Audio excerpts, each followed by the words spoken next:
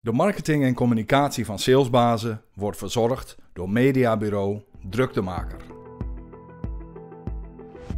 Ik heb een heel prettig gesprek gehad. Waar we echt gewoon, uh, zeg maar, uh, bijna als een stel vrienden even met elkaar over hebben gehad. Over het vak sales. Hoe wij daar naar kijken en hoe wij dat, uh, hebben, hoe wij dat ervaren. dus ja, ik, ik ga met, met een grote lach loop ik straks naar buiten. En kijk met uh, plezier terug op, uh, op, uh, op dit gesprek. Welkom bij Salesbazen, de podcast over sales en sales management. In 2020 begonnen we met het opnemen van gesprekken met onze klanten en relaties. Tegenwoordig interviewen we mensen uit de top van de commerciële wereld in Nederland. Er ontstaat een community van sales professionals die elkaar helpen om beter te worden in dit fantastische vak. We interviewen wekelijks nieuwe gasten, zodat ook jij elke week een stukje dichter bij de waarheid komt. Ken jij een salesbaas of ben je er zelf een? Stuur dan een e-mail naar redactie@salesbazen.com. Mijn naam is Jozef Stevens. Hou je handen aan het stuur en geniet van ruim 30 minuten aan kennis en kunde van de mensen die deze podcast mogelijk maken. Salesbazen.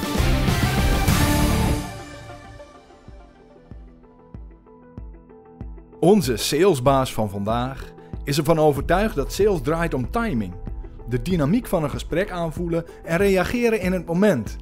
Zijn bedrijf focust zich op het bemiddelen van hoogopgeleid personeel en doet dat in 33 landen wereldwijd. We hebben het met deze gelouterde salesbaas over verbinding, vertrouwen en plezier in het vak. Hij werkte onder andere bij Securitas, Unique en Yacht en zit nu alweer 9 jaar in het sales management van dit bedrijf.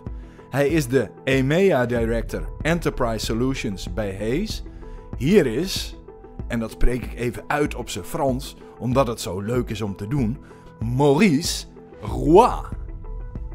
Ja, Maurice, jij bent uh, Sales Director uh, Enterprise Solutions bij Hayes. Uh, ja. Dat is een hele mond vol. En, en Hayes is volgens mij ook een, een, een, een monster van een organisatie qua omvang. Dus ik ben blij dat jij hier bij mij aan tafel zit. Maar voor de mensen die de organisatie Hayes niet kennen, hoe pitch jij altijd de, jullie dienstverlening? Nou, uh, is uh, een van de wereldwijde marktleiders in het uh, recruitment. En recruitment is het, wat wij doen, is het vinden en verbinden van mensen, kandidaten aan vacatures voor organisaties. Dat is wat wij doen over 34 landen wereldwijd. En ja, inderdaad, we zijn dus een monster van een organisatie met een 13.000 medewerkers. En eigenlijk in Nederland zitten we al zo'n 30 jaar. Dus we hebben best al een lange historie in Nederland. Uh, in Nederland zijn we ook meer een MKB-branch vanuit de grote Hees Holding. Mm -hmm. met zo'n 150 medewerkers. In de Benelux, waar ik ook verantwoordelijk voor ben geweest, zitten we met zo'n uh, 350, 400 medewerkers. Wat moet een verkoper bij Hees doen? Wat, wat, wat zijn eigenlijk de belangrijkste taken? We hebben verschillende rollen binnen Hees. Ik denk uh, voor mensen die binnen recruitment uh, zitten, die herkennen dat wel. We hebben de sales consultants, die verantwoordelijk zijn voor het uh, binnenhalen van nieuwe opdrachten. Mm -hmm.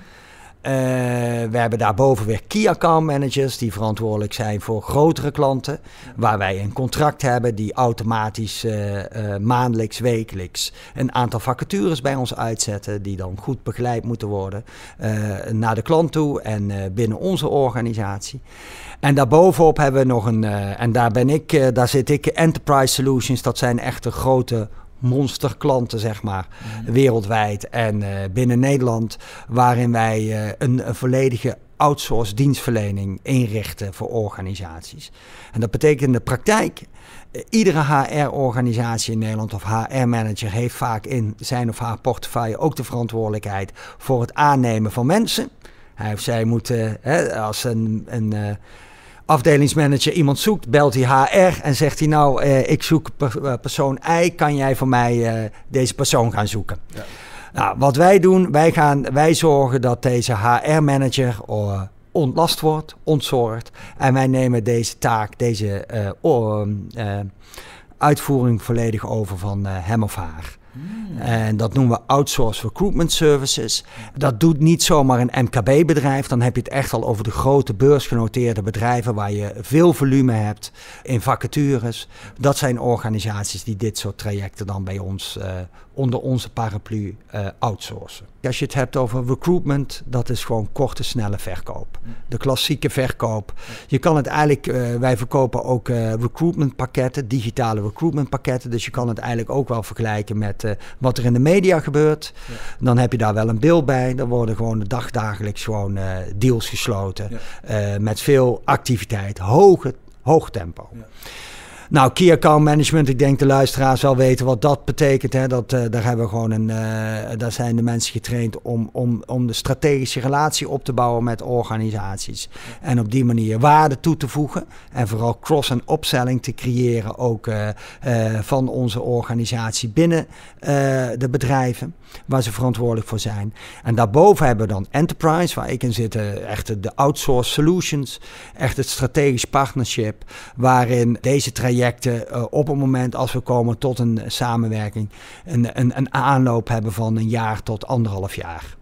En voor zeg maar, het key account management en enterprise hebben wij um, een aantal jaren terug hebben wij besloten uh, hè, dat less is more, hè, focus klanten, maar ook challenge sales als, als, als, als, uh, als structuur en als aanpak centraal te stellen binnen onze organisatie. Maar wat wij hebben geleerd is uh, dat als je kijkt naar een succesratio, dat uh, op het moment dat je deze aanpak uh, dusdanig goed inricht in je organisatie, voor enterprise enterprise oplossing, dus voor langdurige sales, tot de beste resultaten komt. Ja, ja mooi. Nou, ik ben heel benieuwd hoe dit gesprek gaat lopen. Uh, de ene die zegt, ja, het gaat om activiteit, activiteit, activiteit, uh, hoge energie, uh, overtuigingskracht, explosiviteit. En de ander zegt rust, ruimte, luisteren, empathie. En allebei is eigenlijk waar. En, want toen ik bij Gouden Gids 100 jaar geleden advertenties verkocht... Ja toen, toen was voor mij uh, activiteit en energie en opwinding, dat was, uh, dat, was voor mij, dat was voor mij sales. En toen had ik ook al, bijvoorbeeld als. nu, nu gaat het misschien over mij, maar toen nee, ik, geen... ik had een beltoon. Ja. Wij hadden een, een, een, een, telefoon, daar kon je zelf zeg maar een, een beltoon instellen. Dat was gewoon een audiobericht. En iedere keer als mijn telefoon overging, dan hoorde je uh, a sale is made on every call you make. Either you sell the client some stock or he sells you on original ja, why ja, he can't. Ja, ja, the, only, the only question is who's going to close you or him. En dan moest ik opnemen. Maar hallo, met Jozef Stevens van uh, Gouden En stond je op scherp. Daar stond ik op scherp. Dus, dus dat was de energie die bij ons op de afdeling ook, ook werkte. En, maar dat, en dat zei ik net tegen jou. Als ik nu over sales praat, hoor je, mij, hoor je een hele andere persoon. Absoluut. En ik denk dat dat uiteindelijk denk ik wat de rode draad wel is, wat ik merk uh, nu. Ik werk ook veel met jonge mensen, ja. dus die in deze fase zitten. Ja. Is uh, dat het uiteindelijk wel ook uh, dat ze de balans moeten vinden tussen activiteit en timing. Mm -hmm. Mm -hmm. Timing in sales is goud. Oké. Okay. Want uiteindelijk moet je op dat moment bij de klant in gesprek zijn dat hij of zij ook daadwerkelijk klaar is voor jouw product, dienst. Ja. En die timing, die, die moet je gaan leren. En dan moet je meters in gaan maken om te gaan herkennen van wanneer is het moment om, om, om wel of niet door te pakken bij een klant. Hoe ga ik die relatie met die klant onderhouden? Uh, gaat het een korte relatie zijn? Moet het een wat langere relatie zijn die we met elkaar gaan opbouwen? Dat is denk ik heel erg belangrijk binnen sales, wat ik uh, geleerd heb en wat ik nog steeds zie. Het gaat om timing. Op het moment als iemand niet bereid is om een deal te closen, dan heeft het ook geen zin om door te blijven duwen. Dan doe je eigenlijk meer afbreuk aan en het kost jou ook energie. Dus die timing is ook gekoppeld aan een bepaalde mate van focus. En als ik terugkijk naar al die jaren en de feedback die ik ook heb gehad, want ik heb heel veel dingen ook fout gedaan. Ik heb ook te, te hard doorgedrukt niet geluisterd naar klanten omdat ik dacht van, nou, nu moet het gebeuren. Nu moet ik hem hebben. Uh, nu moet ik hem hebben. Uh, ik moet mijn target halen. Ja. Uh, ik denk dat dat ook iets is hè, wat we los moeten laten van target. Ik denk dat het proces is hè, uh, wat je doorloopt, dat dat is waar je van moet genieten als uh, sales professional. En dat leidt tot een bepaald resultaat. En dat moet je ook zeker vieren. Wat is de belangrijkste les dan op gebied van hoe, hoe voorkom je dat je de stopborden niet, dat je de stop, stopteken negeert? Ik denk dat het mensen daarop trainen. En ga in ieder gesprek pak een moment pauze op het moment als je in gesprek bent met een klant, ga even achterover zitten en laat even uh, dat landen van wat je met elkaar besproken hebt. En zet even de pauzeknop voor jezelf even aan ook. Wauw. Ja, dat is, uh, en uh, we zeggen allemaal, je moet luisteren. Daar begint het mee, maar met luisteren betekent ook, ook even de pauzeknop aanzetten voor jezelf. Van hoe komt dat nu bij mij binnen? Ja. Wat vind ik hier nu van? En durf daar ook uh, open over te zijn richting de klant. Ja, ja ik, heb wel, ik heb wel eens gesprekken waar ik aan het eind vraag van... Goh, hoe heeft u het gesprek ervaren? Dat, dat, dat vinden ze een beetje vreemd. Maar voor mij geeft dat vaak heel goede informatie. Wat je, wat je net ook zei van... Pauzeknop, even achterover zitten. Dat is natuurlijk ook observeren. Dus misschien zeg je ook wel niet voortdurend op het gaspedaal drukken. Correct. Doseren in het gesprek. Ja. En, uh, en dat is erg belangrijk. En dat, uh, we, uh, we hebben het over luisteren natuurlijk in sales trainingen. We hebben het over structuur. Hè? zodat je ook zorgt dat je het gesprek goed opbouwt. Maar alles staat en valt daarin gewoon om ik denk dat ik wel hond... Ik heb zoveel gesprekken gevoerd, Jozef. En uiteindelijk, al die gesprekken lopen toch altijd anders dan je vooraf had hè, gedacht. Ja. Want nou, dat is het mooie van mensen, dat jij in gesprek raakt met mensen en denkt... Maar wat doet hij nu of zij? Of wat vraagt hij of zij nu in één keer? Dus durf dat ook los te laten. Hè? En durf dan die pauzeknop voor jezelf in te duwen. En durf dan ook te zeggen, ja, daar moet ik nog op terugkomen. Dat weet ik nu even niet. Wat vindt u daar zelf van? Ja. Maar ik denk ook gewoon eh, durven om iets te laten gebeuren. Ja. Dat je niet zorgen maakt over de uitkomst, maar dat je even in het moment zelf ook bent en laat gebeuren wat er moet gebeuren. Sommige mensen willen, bijvoorbeeld als iemand met een bezwaar komt, als een klant zegt van ja, maar ik, uh, uh, jullie bedrijf heeft toch niet zo'n goede naam in de markt. Dat je dan niet meteen uh, er volop wil, maar dat je dan even ook zelf achterover gaat zitten van... wat heb ik eigenlijk gehoord? Wat bedoelt hij eigenlijk? En dat kun je ook letterlijk vragen. Hoe bedoelt u? Maar die, die, die rust om afstand te nemen, uit het moment te gaan... en even te, te evalueren van... hey, hoe gaat dit gesprek? Ja, dat is denk ik een, een, een nieuwe dimensie in veel, uh, veel salesgesprekken hoor. Ja, ja, ja. Nou ja, we, je krijgt het natuurlijk, je hoort het vaak in trainingen, maar ik denk dat dat vooral wat je net zei, Jozef, dat is mooi van hè, hoe. Uh, pak zelf dat moment, herken dat en durf hè, uh, in het moment zelf te zitten. Ja. En dat, wat ik net ook zei, uh, uh, dat ligt ook bij salesleiders, hè, om een omgeving te creëren in je team dat mensen ook niet het gevoel hebben dat ieder gesprek, ja, wat is succes van een gesprek, ja. weet je wel? Ja. En ik, kijk, we hebben een heel divers publiek van luisteraars, heb jij waarschijnlijk, dus ik, ik kan ook niet voor ieder uh, uh, sector en bedrijf spreken. Hè? Uh, maar als je het hebt over dienstverlening, services, hoeft niet altijd direct die deal op dat moment al geclosed te zijn. Ja. Dat is dan niet uh, belangrijk. En dat is denk ik anders dan wanneer je een ander uh, product hebt, uh, wellicht met een kortere levenscycli. Maar, en dan is zoiets heel belangrijk dat je daarin de ruimte neemt, inderdaad, in het momentum gaat zitten. En ik vond de eerste keer ook verschrikkelijk dat ik negatieve feedback kreeg. Je, je hebt het idee dat je je moet gaan verdedigen. Maar dan moet je dus nou net even dat stapje terug doen. Wat hoor ik nu eigenlijk? En wat is eigenlijk de reden van deze vraag? Want eigenlijk is het een cadeautje dat hij jou geeft om dit uit te spreken. Want als hij of zij dat niet uitspreekt, dan weet je het niet. Dus eigenlijk moet je hem al bedanken voor hè, de openheid. ah, wat jij nu zegt, en dat is misschien ook wel de conclusie van het hele gesprek uh, dat je ruimte en, en, en momentum, of het timing is belangrijk, ruimte, luisteren, pauze nemen. En eigenlijk, dat spreekt heel erg voor zich, maar dat doe je pas na een paar jaar honderden, twee, duizenden gesprekken voeren, krijg je dat op een gegeven moment in de vingers. Want het is geen trucje. Nee, het is, uh, sales is geen trucje, sales is uh, daadwerkelijk een vak. Ja. Waarin uh, men meters moet maken om uiteindelijk die rust te vinden. Ja. En ik denk dat dat ook belangrijk is, denk ik, in, aan jonge salesmensen over te brengen dat, dat het een traject is. Ja.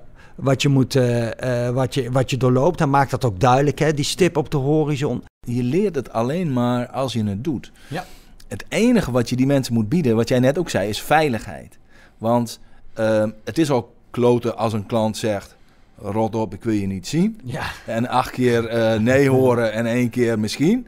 Uh, dat is al op zich al erg genoeg. En als de manager dan nog zegt: Oh, komt er nog wat van en kun je het eigenlijk wel en doe je het allemaal wel goed. En ik zou je even vertellen hoe het moet. Dan gaat iemand afscheid nemen van het bedrijf of het salesvak.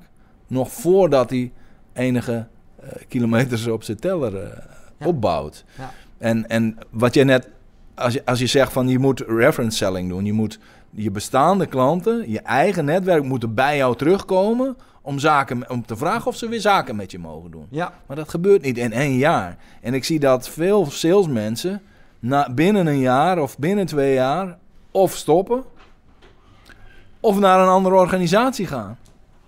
En dan werkt dat vliegwiel helemaal niet. Nee. Voor je bedrijf. Dus hoe, de, mijn laatste vraag, hoe, hoe, hoe zou je ervoor kunnen zorgen dat salesmensen meer ruimte krijgen om dat ontwikkelingstraject aan te gaan binnen één organisatie? Zonder dat ze het gevoel krijgen dat ze van de ene verkoopbaan naar de andere hoeven te hoppen. Wat, hoe kijk jij dan? Ja, dit is, uh, dat is ook jouw vak trouwens. Ja, ja, ja, ja, ja. ik denk uh, inderdaad uh, dat de toegevoegde waarde van, van een salespersoon in je organisatie pas echt gaat renderen na een aantal jaren. En dan moet je denk als organisatie ook nadenken van uh, welke investering je doet bij, in, het, uh, in het selectieproces van een, uh, van een salespersoon. überhaupt van iemand die je aanneemt. Ik denk dat daar begint al een heel belangrijk moment.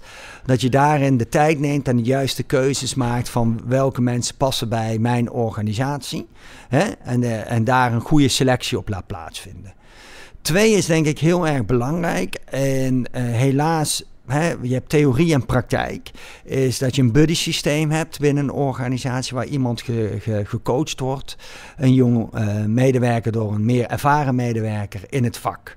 Waarom dat uh, ambachtschap wat sales ook is, deden we vroeger, hè, honderden jaren geleden bestond dat al. en dat is eigenlijk nog steeds, inderdaad. En dat, is, en dat is eigenlijk nog steeds zo. Ja, ja, ja. Maar, Want, maar het, je, moet het, je moet het overdragen van persoon naar persoon. Persoon op persoon, dat hij een klankbord heeft waar hij mee kan, uh, uh, hij of zij, om, om, het, om het vak te leren. Nou zijn salesmensen, daar zit ook wel iets in de, in de, in de personen zelf. Sales hè, zijn natuurlijk ook ongeduldige mensen. Dus uh, de, de intrinsieke waarde en de, van, uh, uh, en de drive van salesmensen, die maakt het ook moeilijk om mensen wat langer zeg maar, gebonden te houden, want zij willen ook graag snel succes. Mm -hmm, Dus zorg dus ook dat die mensen succes kunnen hebben. Ja.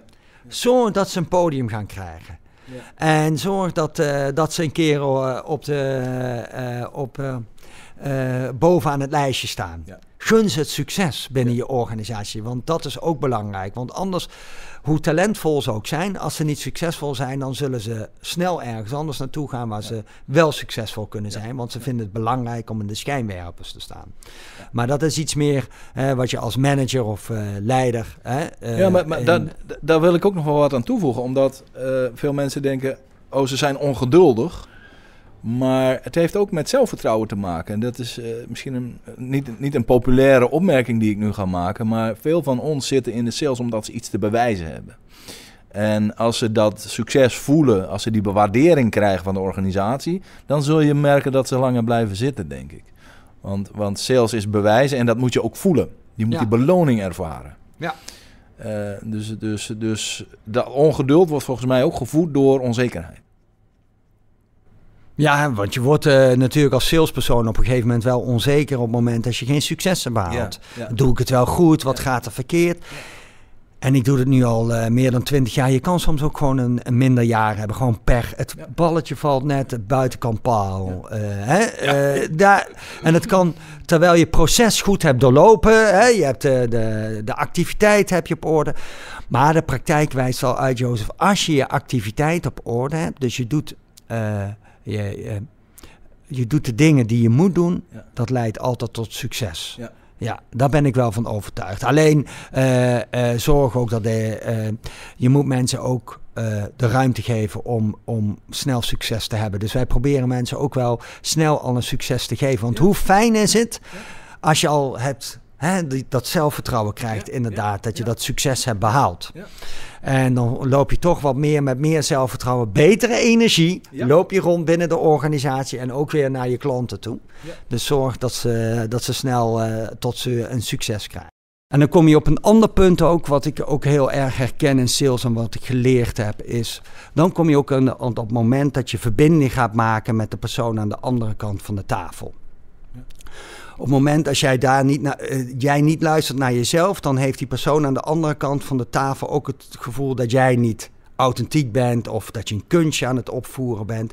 Maar eh, dat er, nou, er is geen, niet sprake van een gesprek, laat ik het zo zeggen. Ja. En ik denk dat het in heel veel eh, dingen terugkomt in je leven. Hè. Dat is niet ook in je privé situatie. Ja. Uh, hè, uh, merk je op het moment als iemand echt luistert naar je of, of iemand lekker in zijn vel zit. En ik denk dat dat voor salesmensen ook heel belangrijk is. Durf ook te zeggen soms als je een gesprek hebt... joh, ik heb vandaag een beetje een rotdag gehad. Je, je moet ook niet bang zijn om je menselijkheid te tonen. Ja, want, uh, want in dat menselijke zit eigenlijk wat je wil bereiken hè, als salespersoon. En dat is eigenlijk, uh, je wil de, uh, de echte motivatie of reden, droom, nou geef het hè, een, een, context. Weten van de klant waar je mee in gesprek bent of de persoon hè, waar je mee in gesprek bent. Mm -hmm. Wat is de reden dat we samen in gesprek zijn? En, en dat wil je eerst weten. Wat is... Want soms denk je, en dat heb ik ook geleerd, dat je denkt van, nou, hij heeft mij uitgenodigd of ik mag langskomen, dus waarschijnlijk gaat het om dit. Ik doe al een aanname, ja, hè, dat ja. ik hier aan tafel zit. Ja, maar uiteindelijk uh, kan de reden van het gesprek heel anders zijn. En, en die reden, die is heel belangrijk om die naar boven te krijgen. En dan kom je weer terug en dan vinden we elkaar in uh, Jozef. Dat, dat begint met een bepaalde persoonlijkheid, authenticiteit waar je in moet trainen. En uh, om, om dat ook naar boven te krijgen bij, uh, bij de persoon uh, waar je mee in gesprek bent. Ja, en, en, en het is ook makkelijker dan veel mensen denken. Veel mensen maken het wat te complex. Ik had gisteren, nee, gisteren een groep die vroeg mij ook van... ja, maar wanneer, wanneer weet je dan dat je een klik hebt met iemand? En dat vond ik een hele intelligente vraag. Er waren ook goede, goede gasten hoor. En ja, het, het, het eenvoudige antwoord is als een gesprek geen moeite meer kost. Inderdaad. dus dat je allebei energiek. Ja. En dat is misschien ook wel weer dat stopbord. Wat ik. Wat ook voor sales uh, managers, directeuren ook. Het is soms ook niet verkeerd om te spelen met je salesapparaat qua dit uh, concept. Van dat er eh, de ene persoon een betere klik heeft met een klant dan een andere persoon. Durf ook samen als team daarover te hebben. Ja. Misschien is het beter dat jij deze klant oppakt of dat jij het gesprek doorpakt uh, met, uh, met de persoon aan de andere kant van de tafel. Ja. want uiteindelijk die energie, ja, daar, die golf van energie, daar wil je opkomen samen met de klant. Ja. En, en dat je naar buiten loopt en allebei zoiets hebt wanneer gaan we weer verder praten met elkaar? Zo is het, ja. ja. Nou, ik vind het leuk om jou volgende week weer te zien. Absoluut, He? absoluut. Ja, ik jou ook. Ja. Juist. Maar eh, goh, ik vind dit zo'n boeiend gesprek en ik heb al weer duizend vragen. Alleen dat gevoel van uh, energie en ook zelf ervaren, loopt dit gesprek goed?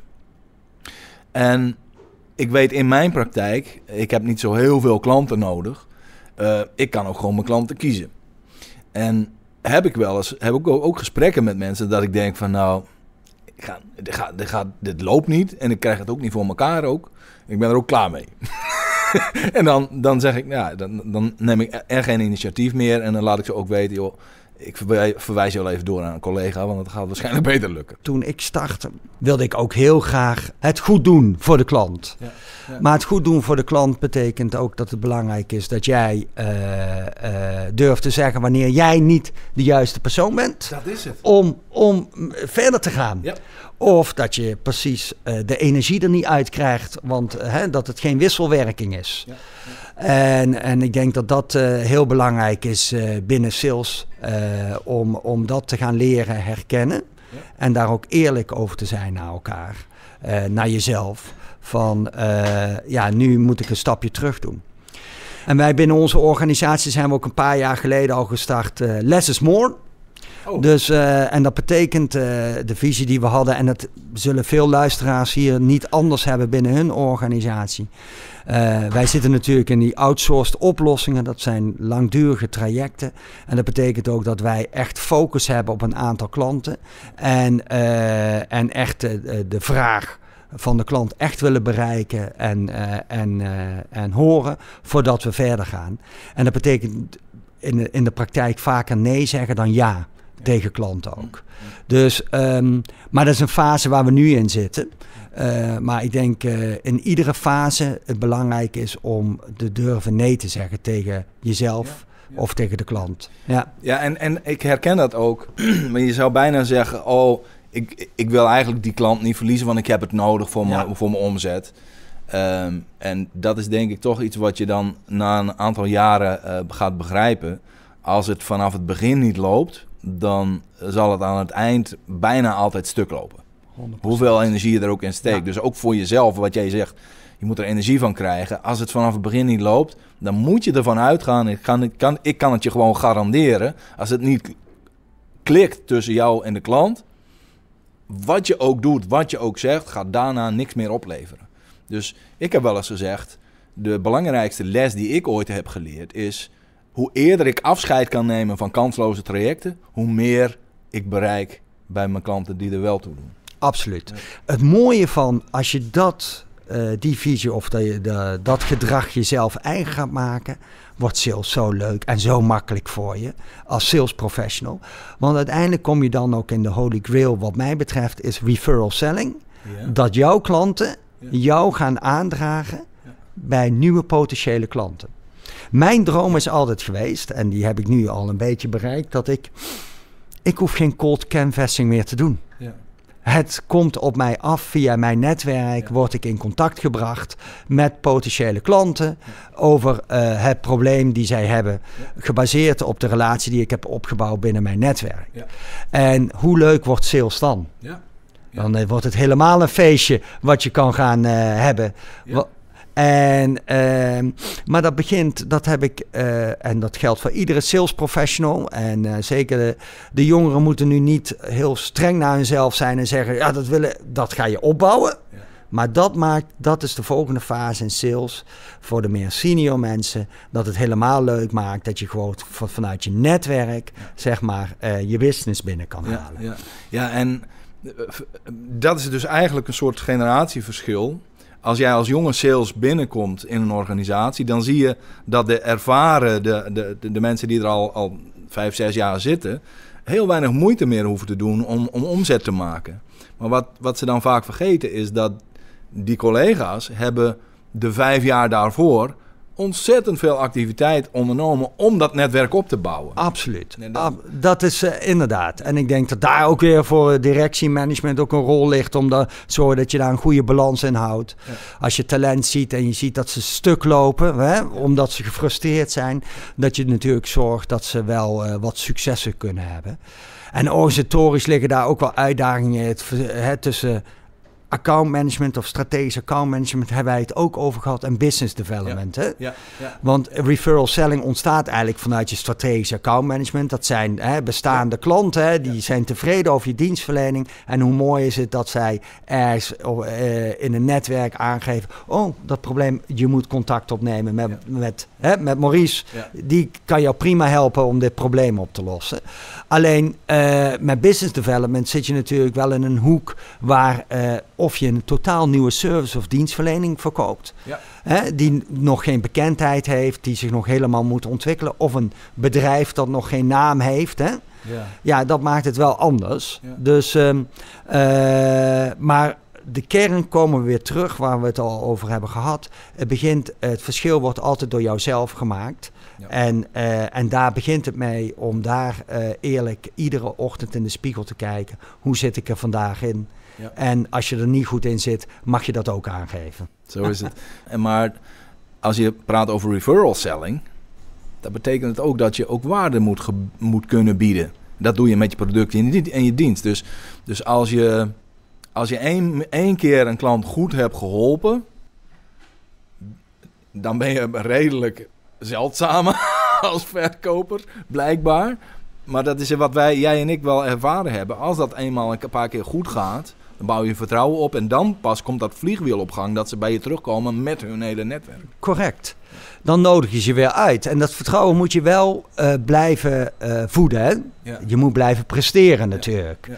Want eh, op het moment als eh, een, eh, een inkoper of jouw contactpersoon vooral, verplaatst van bedrijf X naar Y en Z, hè, dan betekent nog steeds dat je iedere keer wel die prestatie neer moet zetten. Alleen het mooie is, als je dat bij het eerste bedrijf voor hem of haar goed hebt gedaan, zij zeker terugkomt bij jou. En dus je hoeft, je hebt dat momentum al. Ik heb eens een keer, en dan ga je lachen, misschien ga ik dit eruit knippen. Ik heb eens een keer een, eh, een, een, een, een, een, een relatie van mij, die had ik getraind. En die zei van, in onze groep zit ook een eh, groep eh, die doet inkoopdienstverlening.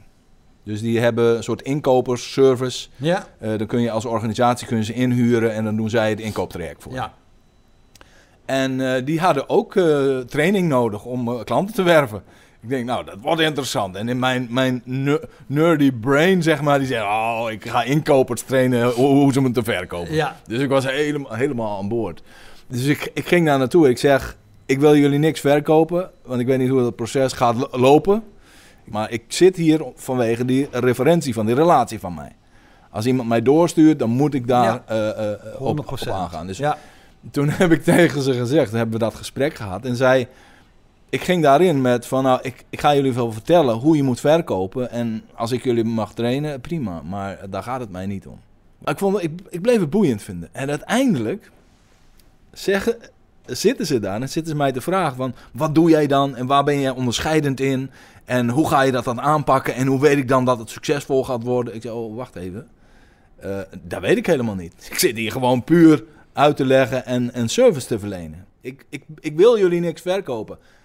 En toen zegt die inkoper tegen mij: Ja, dat is een truc die je nu gebruikt. Nee, hoe, hoe moet ik bewijzen dat ik hier zit puur uit, uit, ja. uit, uit, uit vriendelijkheid voor mijn relaties? Hij, be- hij begreep mij niet. En eh, zij hadden ook een traject ingezet van.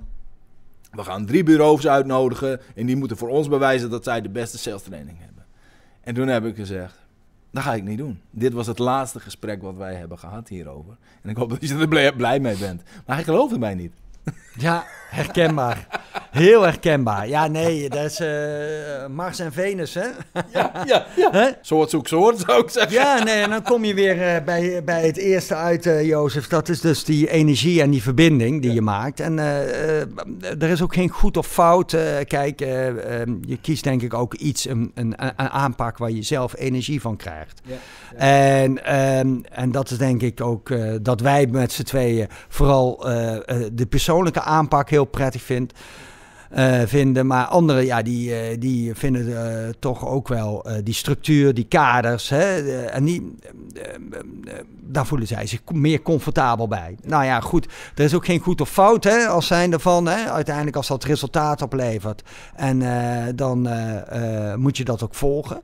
En dan kom je weer terug van, ja, waar wil jij als organisatie staan en waar past jouw Ja. dienstverlening of product, hè, wat jij in de markt wil zetten, eh, hoe, eh, eh, wat voor aanpak past het beste bij jou. En probeer daar dan de inkopers bij te zoeken die daar ook op aansluiten. Ja, en, de, en de verkopers en de organisatie. En wa- Ja. wat, wat ik vandaag van jou ook geleerd heb, is dat persoonlijke wat, wij, wat jij en ik hebben geleerd eh, door de jaren heen dat dat doorslaggevend vaak is. Dat is dan niet alleen op, op menselijk niveau, maar ook op organisatieniveau en afdelingsniveau blijkbaar. Dus het gevoel wat mensen bij je hebben en het gevoel wat organisaties bij elkaar hebben. Bij, bijvoorbeeld bij key account selectie doen we ook heel vaak een, een cultuurmatch. Van, Ja. Is dit een hi- hiërarchische klant Ja. of is dit een platte klant? Ja. Is dit een internationale klant of een lokale klant? Dat zijn elementen waar wij nog naar kijken.